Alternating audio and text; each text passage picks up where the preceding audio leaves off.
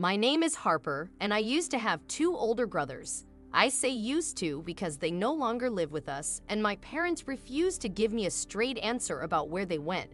Whenever I inquire, they simply tell me that my brothers went to live with our grandparents, or they brush it off, saying it doesn't matter anymore because they're gone. I can still vividly remember the last time I saw my oldest brother, Jacob. He and my father had a heated argument, and the very next day, Jacob vanished. His room sat empty, yet my parents acted as if everything was normal. When I asked about Jacob, they'd assured me he'd return soon, but he never did. A similar unsettling situation occurred almost three weeks later with my other brother, Owen. However, there was no argument preceding his disappearance. He was there one day and inexplicably gone the next. I kept pressing my parents for answers about what happened to them, but they consistently avoided any meaningful conversation. I couldn't fathom why they refused to provide me with information. All I wanted was to know the fate of my brothers, and as I remained trapped in my thoughts, I began to notice something else unsettling. My parents began avoiding me as though I were invisible. Whenever I entered a room, their conversations would cease abruptly or shift to entirely new topics. Sometimes they would abruptly abandon whatever they were doing and leave the room. After my second brother's disappearance, I decided I'd had enough. I contemplated calling the police, but when they arrived at our home, my parents somehow convinced them that I was their only child. They even presented doctor documents to support their claim and asserted that I was mentally unstable. The police chose to believe them and departed without further inquiry. I had hoped that once the police were gone, my parents would finally address the situation or at least react in some way. However, they continued their silence, leaving me in the abyss of loneliness in my own home without my brothers. I stretched out on my bed and stared at the ceiling, determined to unravel the mystery surrounding my family. I knew I had to come up with a plan, and so I did. The only way to discover the truth was to eavesdrop on my parents when they were alone. Thus, my plan was set in motion. I would sneak into their bedroom and hide beneath their bed before they retired for the night, then slip away once they were asleep. It seemed like a foolproof way to gather some answers. That evening, we all sat at the dining table in a cloud of silence, much like we had done for the past month or so.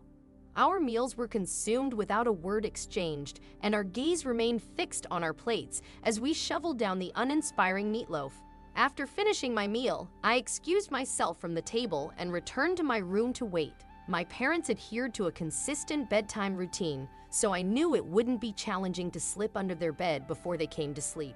As the appointed hour approached, I stealthily crept into their bedroom, taking care not to make any floorboards creak that might betray my presence downstairs. I maneuvered under their bed, navigating through the thick veil of dust that hung in the air. Once I settled under the bed and the bed skirt concealed me, I was shrouded in complete darkness. All I had to do now was wait.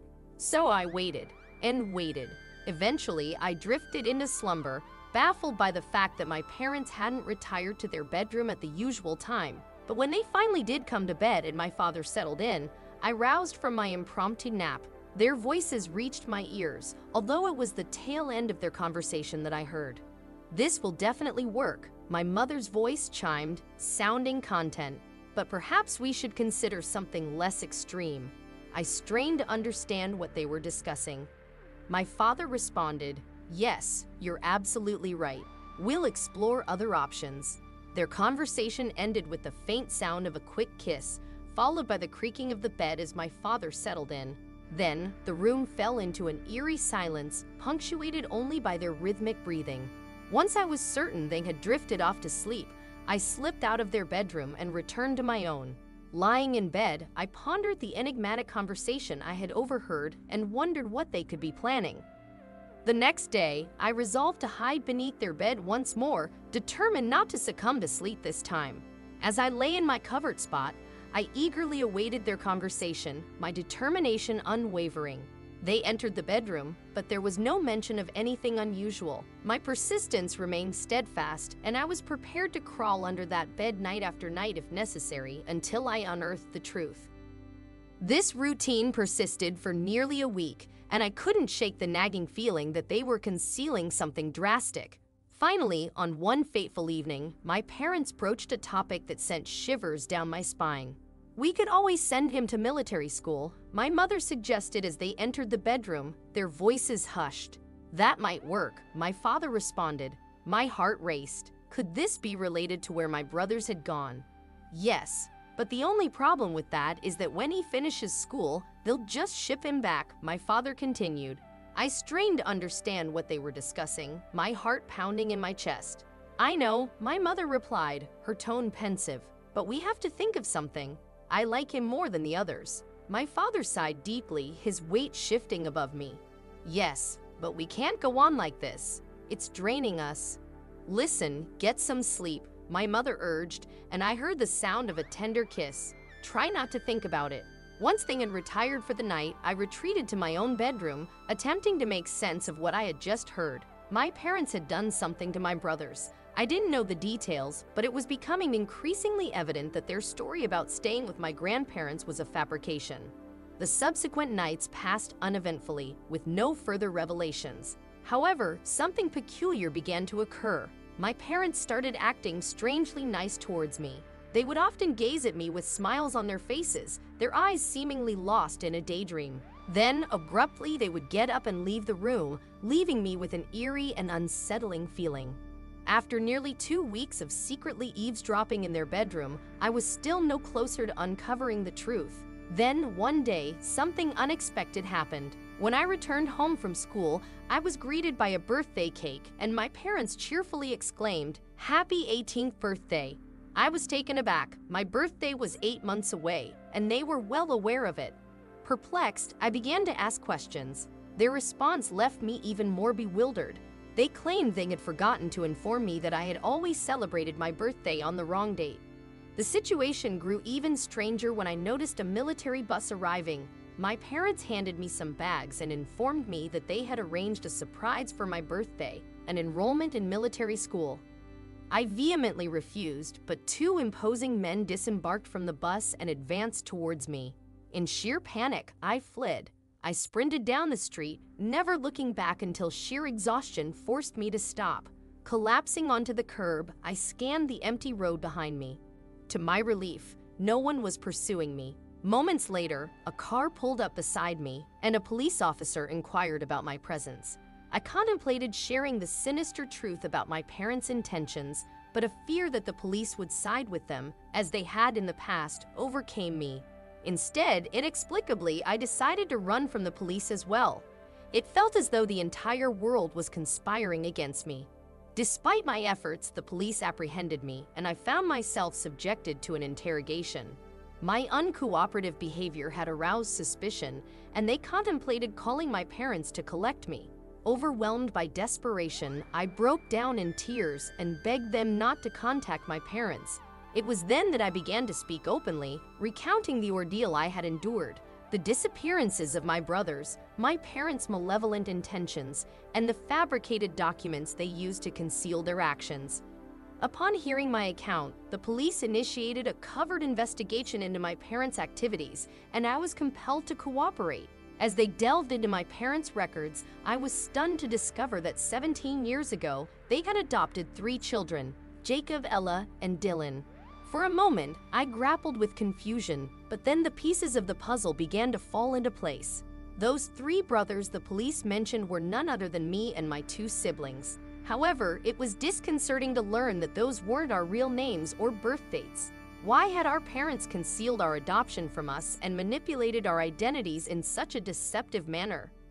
The police inquiries continued and they probed deeper into the circumstances surrounding our adoption. It was revealed that my brothers and I had been born in the same month, which struck me as exceedingly strange. I had always believed we were of different ages. The revelation left me even more bewildered and upset. Why had our parents kept this crucial information from us? What had driven them to alter our names and birth dates?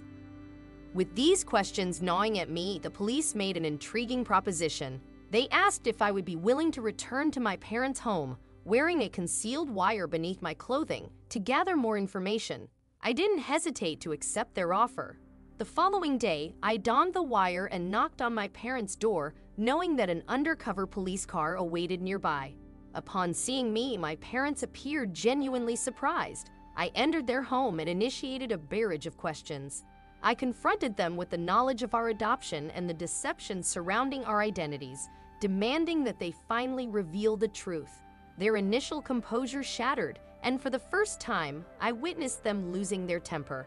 They engaged in a heated argument with each other, revealing that their plan had unraveled because they had underestimated my determination to uncover the truth.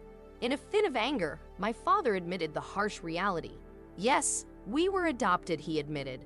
Their decision to adopt us had been motivated solely by the social and financial benefits that their lawyer had outlined for them. In fact, they had amassed a substantial sum, nearly a quarter of a million dollars. Their sinister plot involved letting us go once we reached the age of 18 without exposing their fraudulent adoption scheme. That's when the truth unfolded further. Their sinister schemes had ensnared my brothers as well. One of them had been lured into working overseas under the guise of an email from a reputable company. My other brother had been deceived into believing that his biological parents were wealthy millionaires residing in South Africa, prompting him to embark on a quest to find them. As for me, their plan involved shipping me off to the military, severing all contact, and relocating to another country. The enormity of their betrayal left me in disbelief, tears streaming down my cheeks. I longed to escape their clutches. However, my father's enraged shout shattered any semblance of hope. He demanded to know where I thought I was going with all these secrets, and before I could react, he grabbed me forcefully. My supposed mother joined in to help subdue me. But just as their grip tightened, the police dramatically burst into the scene, putting an abrupt end to their sinister actions. Subsequently, both of them were apprehended, and the police concluded their investigation. Yet my quest to locate my brothers continued, fueled by a fervent hope that one day we would be reunited.